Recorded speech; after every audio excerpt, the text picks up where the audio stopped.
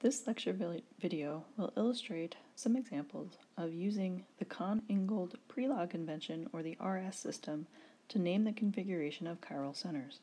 Each chiral center has two possible configurations, itself and its mirror image, and these two possible configurations are designated R or S. To determine which stereocenter is the S stereocenter and which is the R stereocenter, we assign priorities to substituents using a set of rules. We then assign a letter based on the rela- relative positions of these priority groups. Let's look at some examples. First, let's consider 1-bromo 3,4,4 trimethylpentane. Pause the video and see if you can draw the structure of this compound from its IUPAC name. The structure of this compound looks like this. Now we need to identify its chiral center. Again, pause the video and see if you can identify that on your own. The chiral center is this carbon. This is the only carbon that is sp3 hybridized and contains four different groups.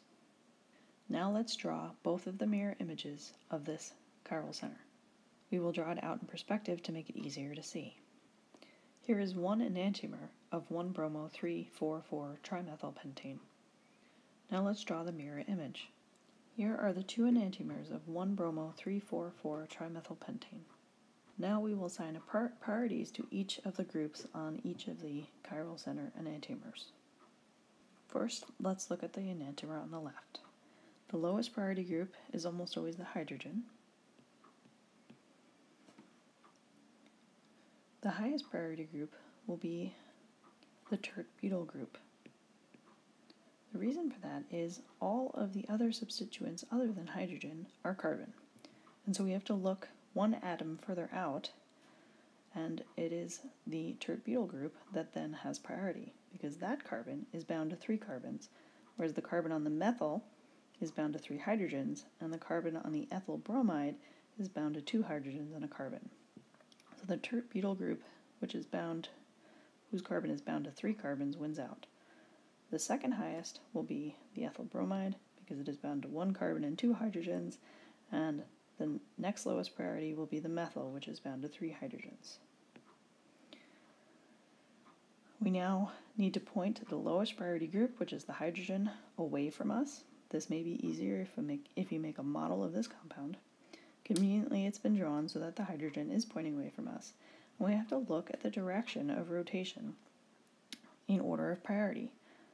Our order of priority will go from group 1 to group 2 to group 3. This is a counterclockwise rotation, and that is given the designation S. Now let's look at our mirror image. Again, our hydrogen will be our lowest priority group, our tert-butyl will be our highest priority group, and the other groups, again, are the same as on the other molecule. We need to point our lowest priority group away from us, which again is how this molecule is drawn, and then we look at the rotation in the direction of the order of priority, from 1 to 2 to 3. This is a clockwise rotation, and that is given the designation R. Finally, let's give these two enantiomers complete IUPAC names. The way we name chiral centers in molecules is that we put the stereochemical designation first, just like we did with cis or trans. So the compound on the left is S1-bromo 3,4,4-trimethylpentane, and the compound on the right is R1-bromo 3,4,4-trimethylpentane. Now let's identify a few more examples. What is the stereochemical designation and the IUPAC name for this compound? First, let's assign priorities to the groups around the chiral center. The chiral center is obvious in this molecule because it has been drawn out in perspective.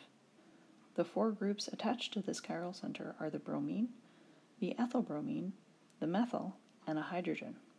It can often help to draw in that hydrogen so that you don't forget about it.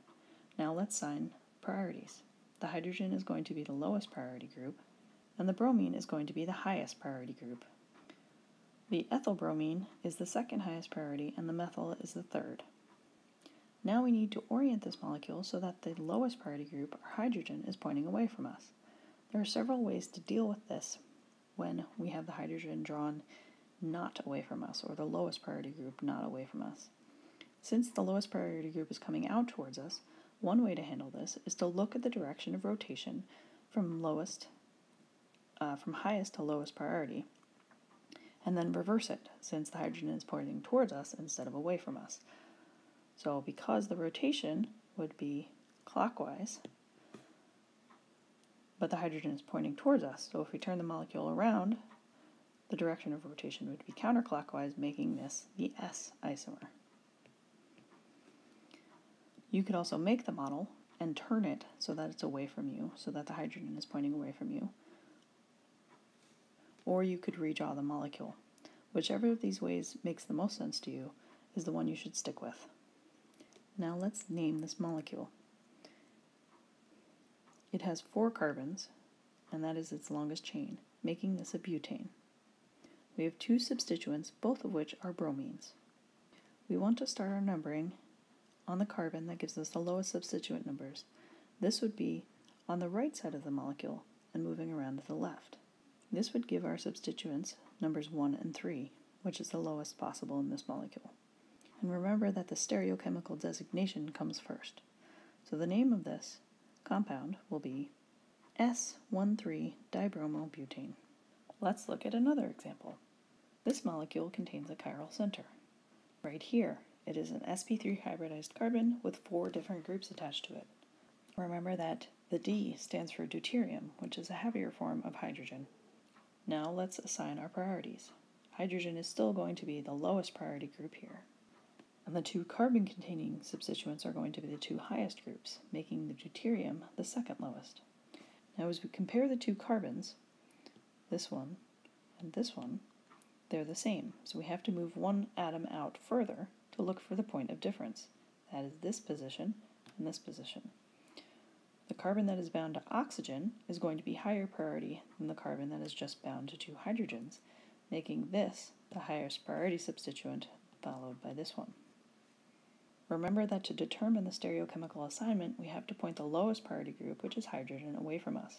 Since it's pointing towards us, we can use the trick of remembering that it will be the reverse of what it seems to be. And so the direction of rotation is counterclockwise with the hydrogen pointing towards us, so it will be clockwise with the hydrogen pointing away from us, making this R. Let's look at one final example. This molecule has a single stereocenter, which is a chiral center, because it is sp3 hybridized and has four different groups bound to it. Remember that the fourth group is a hydrogen. Now let's assign our priorities. The hydrogen will be lowest, all of our other substituents are carbons. So we have to look at what those carbons are bound to. This carbon is bound to two carbons, while all of the other carbons are bound to one carbon and two hydrogens.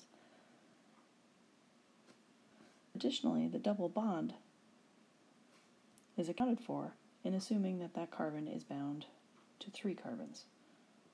The single carbon of the single bond and twice, it's counted twice for the double bond. And so this will be our highest priority group. When we compare the other two carbons, we again have to look one carbon away, one atom away, to this center.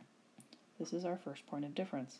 The carbon on the right is bound to an oxygen, where the carbon on the left is just bound to carbon and hydrogen, making the one on the right the second highest priority, the one on the left the third highest priority.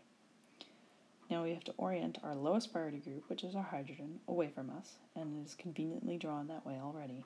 Now we just look at the direction of rotation from 1 to 3. This is counterclockwise, making this the S designation.